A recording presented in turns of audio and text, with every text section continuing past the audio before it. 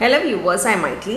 இன்னைக்கு 11th maths sets relations and ஃபங்க்ஷனில் example one point one இந்த வீடியோவில் பார்க்க போகிறோம் கொஷின் பாருங்கள் find the number of subsets of A if A is equal to X such that X is equal to four N plus one and N lies between two and five N is a natural number N belongs to natural நம்பர்னு கொடுத்துருக்காங்க. So number of subsets number of சப்செட்ஸ்னு என்ன? P of ஏவை கண்டுபிடிக்க சொல்லியிருக்காங்க.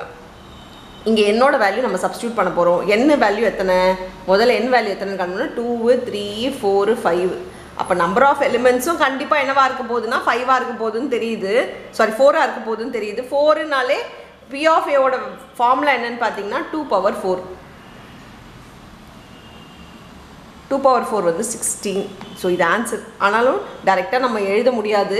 ஏ equal to பார்த்திங்கன்னா இதில் substitute பண்ணி பாருங்கள் டூவை சப்ஸ்டியூட் பண்ணால் four twos are eight plus ஒன்று நைனு அடுத்தது த்ரீயை சப்ஸ்டியூட் பண்ணுங்க பாருங்கள் four threes are twelve plus ஒன்று தேர்ட்டீனு அடுத்தது ஃபோர் சப்ஸ்டியூட் பண்ணால் சிக்ஸ்டீன் ப்ளஸ் ஒன் செவன்டீன் ஃபைவை சப்ஸ்டியூட் பண்ணால் twenty plus one twenty one so number of elements of A நம்ம ஃபோர்னு கெஸ் பண்ணுமா?